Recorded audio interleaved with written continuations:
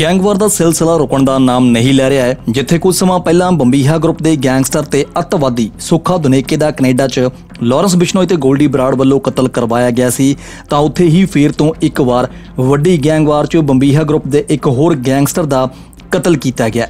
ਸੁੱਖਾ ਦੁਨੇਕੇ ਦੇ ਕਤਲ ਮਗਰੋਂ ਕੁਝ ਦਿਨ ਪਹਿਲਾਂ ਹੀ ਬੰਬੀਹਾ ਗਰੁੱਪ ਦੇ ਗੈਂਗਸਟਰ ਮਾਨ ਜੈਤੋਂ ਦੇ ਵੱਲੋਂ ਇੱਕ ਪੋਸਟ ਪਾ ਕੇ ਗੋਲਡੀ ਬਰਾੜ ਨੂੰ ਕਿਹਾ ਗਿਆ ਸੀ ਕਿ ਮੈਂ ਤੇਰੇ ਭਰਾ ਦਾ ਕਤਲ ਆਪਣੇ ਹੱਥੀਂ ਕੀਤਾ ਹੈ। ਤੇ ਜੇ ਮਰਦ ਹੈ, ਤਾਂ ਆ ਮੇਰੇ ਕੋਲੋਂ ਬਦਲਾ ਲੈ।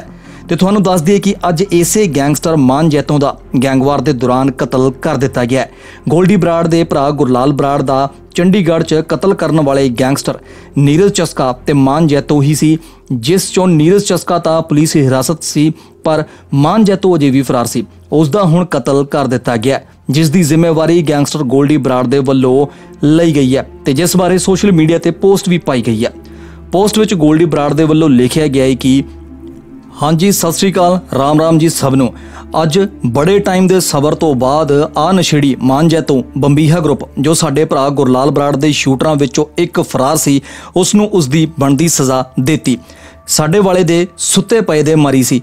ਇਹਨੂੰ ਭਜਾ ਭਜਾ ਕੁੱਟ-ਕੁੱਟ ਕੇ ਮਾਰਿਆ ਕੁੱਤੇ ਨੂੰ। ਕੁੱਤੇ ਦੀ ਮੌਤ ਦਿੱਤੀ। ਇਹ ਬਹੁਤ ਚੈਲੰਜ ਕਰਦਾ ਸੀ ਫੇਸਬੁੱਕ ਤੇ ਸਾਨੂੰ ਕਿ ਕੀ ਕਰ ਲਿਆ, ਮੈਂ ਤੁਹਾਡਾ ਭਰਾ ਮਾਰਿਆ। ਅੱਜ ਇਸ ਦੇ ਵੀ ਸਿਰ ਵਿੱਚ ਉਨੀਆਂ ਹੀ ਗੋਲੀਆਂ ਵੱਜੀਆਂ।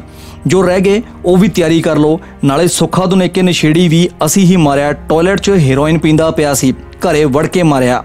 ਜਿਹੜੇ ਲੰਡੂ ਫੇਕ ਜ਼ਿੰਮੇਵਾਰੀਆਂ ਚੱਕਦੇ ਆ, ਲੰਡੂ ਸਾਲੇ ਉਹ ਸ਼ਰਮ ਕਰਨ, ਬਿਨਾਂ ਗੱਲੋਂ ਫੁਕਰੀਆਂ ਨਾ ਮਾਰੋ, ਪੱਲੇ ਤੁਹਾਡੇ ਸ਼ਿਕੂ ਨਹੀਂ। ਦੇਖੀ ਚੱਲਿਓ ਸਾਰੇ ਦੁਸ਼ਮਣ, ਤੁਹਾਨੂੰ ਸਮਝ ਨਹੀਂ ਆਉਣੀ ਤੁਹਾਡੇ ਨਾਲ ਹੋ ਕੀ ਰਿਹਾ। ਵੇਟ ਐਂਡ ਵਾਚ ਰੱਬ ਰਾਖਾ।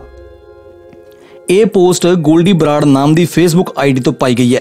ਮਾਨਜੈਤੋ ਦਾ ਕਤਲ ਹਰਿਆਣਾ ਸੋਨੀਪਤ ਦੇ ਪਿੰਡ ਹਸਰਾਣਾ 'ਚ ਹੋਇਆ ਹੈ, ਜਿੱਥੇ ਉਸ ਦੀ ਗੋਲੀਆਂ ਨਾਲ ਬਿੰਨੀ ਹੋਈ ਲਾਸ਼ ਪੁਲਿਸ ਨੂੰ ਬਰਾਮਦ ਹੋਈ ਹੈ।